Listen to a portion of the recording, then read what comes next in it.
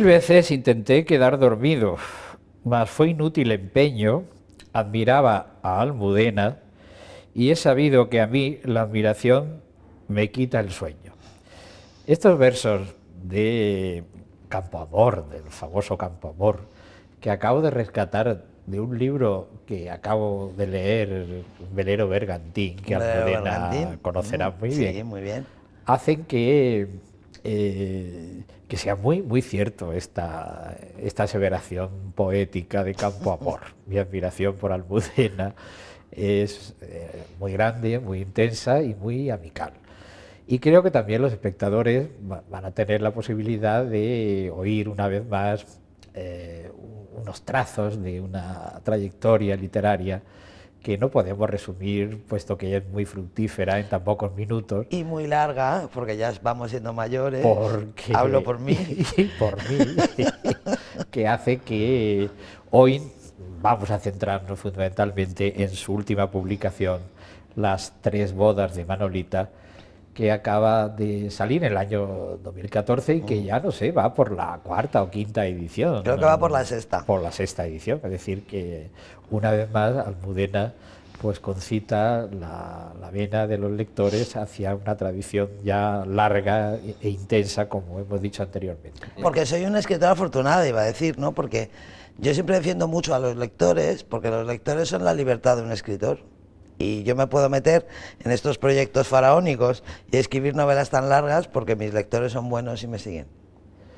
Pues la pregunta inicial que, que solemos hacer en este tipo de entrevista es, ¿qué piensas eh, sobre el lugar de la literatura en la sociedad de hoy? Bueno, mira, eh, yo soy de la última, hasta ahora, porque espero que haya muchas más, generación de escritores letreridos, totalmente enamorados de la literatura, de la tradición. Parece que después, pues los más jóvenes eh, se nutren o dicen que se nutren de otras cosas. Parece que la literatura pues está como de más en esta sociedad. Yo no lo creo, yo creo que los hombres y las mujeres, el género humano, siempre ha necesitado que le cuenten cuentos y siempre ha necesitado eh, apasionarse y buscar eh, maneras de vivir más, de vivir más vidas aparte de su propia vida. Yo creo que en ese sentido hay, la literatura tiene poca competencia. Es verdad que en el siglo XIX la literatura era la única puerta hacia lo maravilloso que estaba al alcance de un sector masivo de la población. Es verdad que ahora cualquiera tiene en su casa puertas hacia lo maravilloso a todo color, eh, gratis y que sobre todo que cuestan mucho menos, que exigen mucho menos esfuerzo, pero yo sigo pensando que la calidad de la literatura, la calidad de la emoción, la calidad de la experiencia garantizará su supervivencia. El vivir vidas en otros que tú no has podido vivir realmente, eso es una- un fundamento que la literatura tiene y que por eso nos atrae. Y luego dentro de la parcela literaria, ¿por qué la elección tuya de la novela? Uy, yo siempre, yo siempre he contado cuentos. Yo siempre no. Fíjate, yo creo que es porque mi padre y mi abuelo eran poetas aficionados. Entonces, eh, cuando yo era pequeña, la poesía era, por un lado, una cosa muy frecuente en mi vida, pero era algo como de los adultos.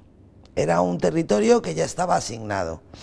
Y bueno, eso lo hacían los adultos. Era una cosa que, mm, no sé. En cambio, lo de los cuentos, que era mi, mi tentación inicial, lo de contar historias, eh, bueno, pues mm, era un territorio que estaba libre y no tenía ese prestigio de los mayores. Yo siempre me recuerdo eh, escribiendo narraciones. Soy, soy una narradora nata, digamos. No, no he escrito eh, en ningún género, miento, con la excepción del teatro en el que he fracasado y que es mi gran frustración. Bueno, tampoco fue tan fracaso lo del teatro. ¿no? Bueno, pero porque Atlas, Atlas tuvo un adaptador maravilloso. Eso no es mío, el mérito fue de Luis García Arauz. Es decir, que claro, la literatura, y ya entrando en ese terreno que apuntabas, realmente va también muy en paralelo al cine, donde tu experiencia, yo creo que tuviste una actuación inicial, ¿no? Bueno, sí, sí, sí, sí. Pequeñita. Pero realmente. Pequeñita, pequeñita. De tus novelas han sido sí, traspasadas al cine. ¿Qué experiencia tienes tú de ese trasvase? Pues, esto es una pregunta que siempre se suele hacer y mm. que la respuesta. Es, variada. Bueno, no, yo matizo. En primer lugar, mi experiencia como actriz fueron nada, un, un, rodaje en el año 82 que hice un papel de cinco minutos y comprobé que Paco Raval es sabio, porque él fue el que dijo que a los actores les pagaban por esperar. Y efectivamente, lo que hice yo básicamente fue esperar. Estuve esperando un fin de semana para... y no me gustó nada. Y mi experiencia como autora, pues mira, yo creo que es injusto hablar de literatura y cine. Eh, creo que es mejor hablar de películas y novelas. Porque, bueno, pues... Son dos mm, lenguajes distintos. Claro, son dos lenguajes distintos y luego la forma de abordar una adaptación cambia mucho en función del director, en función de la afinidad de su mirada con la mirada original. Entonces, a mí me han hecho seis películas, de las cuales dos me gustan, tres no me gustan, pero me parecen dignas y legítimas, porque efectivamente sus directores han asumido, yo asumo que cuando cedo los derechos de un libro, hombre, es para que alguien se apodere de esa historia, ¿no? Y solo hay una, que es Castillos de Cartón, que me parece que, que traiciona el texto original y que cambia el espíritu de, de la novela y que no, y que no me gusta, ¿no? A mí, Atlas de Geografía Humana, y aunque tú no lo sepas, que está basada en un cuento de modelos de mujer, las dos me gustan mucho. Pero bueno, mm, cuando me preguntan sobre literatura y cine, yo suelo citar a Benavente, que es un autor al que no cito en ninguna otra ocasión, pero que, por lo visto cuando le llamaban a casa para pedirle los derechos de una obra, él que era educado y exquisito decía, ay, qué bien, ay, qué bien, qué ilusión, qué ilusión. Y luego hacía una pregunta que era, y dígame usted, ¿cuánto me van a pagar por los destrozos? o sea, asumía los destrozos y ya está. Pues eso me parece una buena, una buena perspectiva, es decir, yo cedo esto aunque sepa que lo que va a pasar pues seguramente no me gusta. Y la otra incursión a la que hacía referencia antes el teatro. Yo pude ver en, en María Guerrero y fue estupenda. Estupenda, estupenda, la de geografía humana. Pero yo tuve la suerte de que Ernesto Caballero me, me llamara para un ciclo que se llamaba de la novela del teatro. Él ya pensaba en Atlas, porque había cuatro actrices. Tuve la suerte de que eh, Juanfra el, director Juan Fra Rodríguez y Luis García Arauz, el adaptador, fueran tan inteligentes, tan sensibles, sobre todo Luis, porque Luis logró la proeza de meter una novela de 500 páginas en una hora y cinco con personajes reconocibles. Luego tuve cuatro actrices espectaculares, Ana Otero, Nieve de Medina, Araña Aranguren y Rosa Saboini, estupendas. Bueno, para mí ha sido una experiencia de verdad mm, maravillosa. parece que estamos igual que de 20 años? ¿Igual en qué? Pues no sé, tengo la sensación de que no se ha resuelto nada. Como si aún me preguntara, ¿y yo qué quiero ser de mayor? Yo lo tengo clarísimo. A mí siempre me ha perseguido la edad. Yo empecé organizando entierros. ¿Ah? Luego coincidimos por casualidad, tomamos un café, nos caímos bien, quedamos para cosas de los mapas, nos enrollamos y allí mismo me enamoré.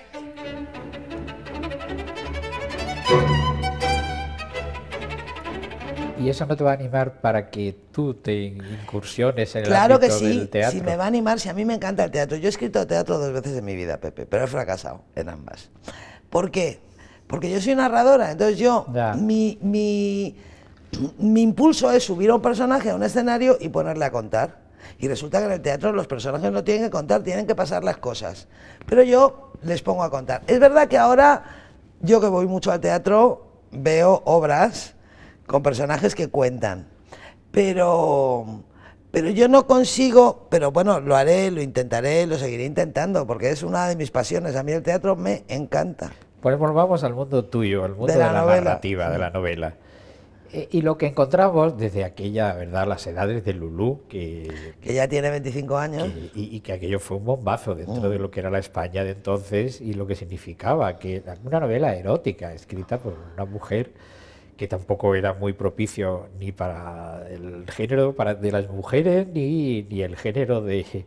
pero que fue realmente antes de llevarse al cine. Sí, sí, sí, fue más importante. Hombre, y yo creo que ha tenido mucho más recorrido la novela que la película. Que la película. Pero fíjate, fue un bombazo a la España de la época y, si se me entiende bien, porque no quiero yo pero digamos fuera de España también respecto a la imagen que tenían de los españoles. Yo me acuerdo que esta novela que se tradujo inmediatamente a muchísimos países me llevó a lugares donde me preguntaban, pues Escandinavia, en la Europa Central, Alemania, Holanda, donde me preguntaban, pero ¿y usted ha tenido problemas con sus vecinos? ¿Sus hijos han tenido problemas en el colegio? Porque debían pensar que esto era una extensión de Afganistán, o sea que también cambió un poco la imagen de, lo que, de, la España que tenían allí fuera. ¿no? Bueno, yo con las edades de Lulú tengo una buena relación porque yo, mm, es, esa novela a mí me regaló la vida que yo quería vivir. Claro, Y eso fue el- nunca podré saldar esa deuda. Pues ¿no? yo recuerdo una vez que estuvimos en, eh, en Melilla, ¿verdad? En aquellos Sí, cursos que se cuando íbamos tanto a Melilla. Que, que estaba en una de las librerías de la calle, Mm. eh, y no es porque la gente de Melilla no fuese culta, pero era realmente el mundo de, el mundo de los soldados. Y, y vimos un soldado que estaba comprando la Mm. Sí, novela. claro. Y, y, aquello, ¿verdad? Nos enterneció. Claro que no sé, a mí me conmueve mucho y también te digo una cosa, es curioso la vida de esa novela porque yo cuando la publiqué a finales de los 80, en los primeros 90, yo estaba convencida de que el éxito de Lulú tenía que ver con una experiencia generacional, con unos lectores que la habían asumido como una educación sentimental de una generación y tal. Bueno, pues ahora voy a las ferias del libro y tal, hay un montón de niñas y de chicos de 19, de 20, de 22 que se leen la novela y ya esa, esas las claves políticas de la novela la han perdido completamente. El aspecto ambiental típico de la transición lo han perdido completamente. Pero siguen leyendo Ahora, y eso lo- me enternece también, ¿eh? Claro, y lo, pero lo que es cierto también, en, en toda tu trayectoria de novelística siempre hay un erotismo. Bueno, en claro. Todas las novelas. Pepe, pero sí. claro. Pero ¿sabes por qué? Porque yo creo que es que Esa es la vida. Hombre, es una dimensión esencial de los seres humanos. Fíjate, yo diría que no tanto el sexo, porque el sexo es una actividad fisiológica que es muy gratificante para el que lo practica, pero es monótono para, Para los demás. el- Pero el deseo, el deseo, o sea, el enamoramiento, el deseo, la fuerza de voluntad que propulsa a una persona que está enamorado, el deseo físico, la obsesión por un cuerpo, eso es una materia narrativa de primer orden que además forma parte de la, de la materia literaria de todos los tiempos, ¿no? Pero no solamente es el erotismo lo que subyace en, en toda tu trayectoria de novelística, sino también hay un acercamiento a la vida. Claro, bueno, es que también tiene que ver eso, ¿eh? Los personajes asexuados están bastante muertos. Pero no estás eh, en el elemento de una ficcionalidad súper absoluta. No, no, no. Sino que estás muy, muy apegada a la realidad de los personajes. Mm. eh, tus personajes, que a veces en algunos casos pueden ser trasuntos de tu propia realidad, cosa que también es muy discutible porque el personaje, aunque sea muy paralelo a ti misma, siempre es un personaje, Un de personaje, ficción. claro. Pero que realmente está, esas vivencias de vida cercana están muy presentes en tu Sobre novela. todo en mis primeros libros. Sobre todo desde las edades de Lulú hasta los aires difíciles, yo escribí un ciclo de novelas que tenían un carácter muy testimonial y que el, el tema de todas ellas, en realidad yo tardé en darme cuenta, porque yo tardo, no soy la escritora más rápida del mundo, tardo de, de darme cuenta de las cosas que hago. Pero en realidad yo en esos primeros libros lo que hice fue darle vuelta siempre al mismo tema, que eran los conflictos de identidad en mi generación, en mi ciudad, en mi país. Y entonces, claro, la atmósfera de aquellos libros tenía mucho que ver con mi vida, ¿no? Claro. Pero yo luego cuando, eh, después de los aires difíciles, he intentado averiguar de dónde venía esa España de mis primeros libros, porque yo en realidad he escrito siempre la misma historia. Lo que pasa es que he escrito la segunda parte antes que la primera. primera. O sea, cuando acaben los episodios y doblamos todo por los aires difíciles, los episodios terminan en los mismos años que empiezan mis Vamos a primeras hablar ahora de los episodios. Pero claro, eh, en realidad siempre, eh, bueno, pues he escrito la misma historia y eso yo creo que nos pasa a todos los escritores. Claro. Y, y lo de eh, lo de de esa, de esa primera etapa, antes de llegar al corazón helado, que parece ser que ya empiezas con el tema de la historia, de la realidad española, de toda esa novelística, sinceramente, ¿tú cuál elegirías más? A Ay. decir que es muy difícil. Ay, es difícil. Hombre, yo mira, te voy a decir una cosa. Malena, Mm, Pues quizá Hablas- Malena, quizá Malena. Quizá Ya. Malena por lo que representó. Porque Malena, claro, yo con Lulú tengo una deuda que ya te he contado que no podré pagar nunca porque me regaló mi vida. ¿Cómo, cuento, sí, ¿cómo voy a pagar yo esa deuda? Pero Malena fue un poco, me permitió dar un salto mortal y eh, me permitió, si Lulu me permitió ser escritora, Malena me permitió ser la escritora que soy. Ahora, la que yo quería ser, ¿no? O sea, me desvinculó del fenómeno del erotismo y de los bestsellers eróticos y tal. Bueno, y me dio paz y paciencia y tranquilidad para poder escribir otros libros. Y Malena, además, es de todas las novelas que yo he escrito la más autobiográfica de todas. Partiendo de la base de que yo creo que es cierto, absolutamente, que toda autobiografía es ficción y toda ficción es autobiográfica. Es decir, cuando un escritor cuenta su vida, no está eh, contando su vida, sino la de un personaje que se llama igual que él y al que le ha dado los mismos atributos que tiene él, porque en el momento en el que trasvasas tu identidad al papel ya estás construyendo un personaje. Pero Malena es verdad que tiene dos características que sí tienen mucho que ver conmigo. Por un lado su familia, que es una familia parecida a la mía.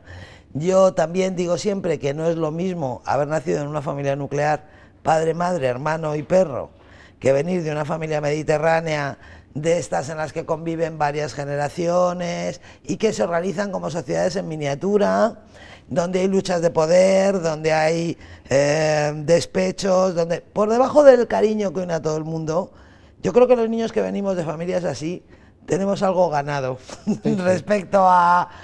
Y otra cosa que tenía que ver con, conmigo en Malena es su extrañeza respecto a algunos aspectos de la feminidad.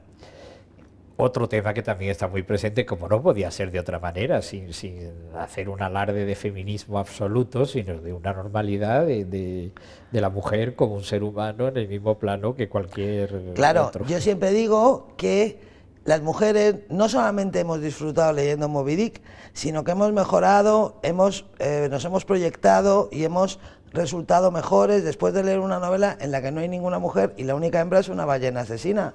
O sea que yo creo que cualquier hombre puede mirar el mundo desde una literatura escrita desde un punto de vista femenino. Y luego, claro, ese cambio, ¿no? De, que empieza con corazón helado hasta estos episodios de una guerra interminable realmente eso ha, sido un cambio en tu trayectoria, aunque no tanto, ¿verdad? No, fíjate, la memoria siempre ha estado presente en mis libros, desde la propia Lulú, en Malena mucho. Malena tenía una abuela, la abuela Soledad, que podría haber pertenecido al corazón, en Atlas también.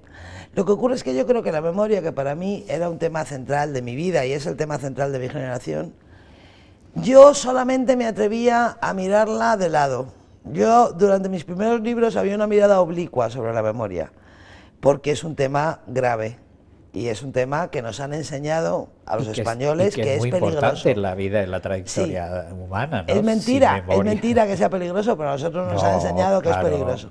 Y es muy importante. Entonces, después de cumplir 40 años, yo creo que ya me sentí lo suficientemente segura y poderosa literariamente y también en lo que respecta a mi identidad como para abordar de frente ese tema, ¿no? Ni que decir tiene que esto ya estarás harta de oírla, de oírlo, porque se ha comparado con Galdós. Cualquier comparación siempre Hombre, pero, es ajustada. Vamos, yo, yo siempre he dicho que Galdós es el escritor más importante para mí, como lectora y como escritora, y ahí la comparación es al revés, o sea, he sido yo la que me he permitido, eh, digamos, la osadía de adoptar y de adaptar el modelo de los episodios. Claro y sobre todo que Galdós es lo que va más épico, más estilo de, de, hechos importantísimos, mientras que tú la realidad es la utilización de una serie de personajes en esas tres novelas que hasta el momento, porque van a ser seis. Seis, seis. Y es una sextalogía. que constituye una visión desde el hoy de lo que fue realmente nuestra guerra, incivil, porque llamarle civil a una guerra de esa tan horrible pues merecería verdad otro nombre.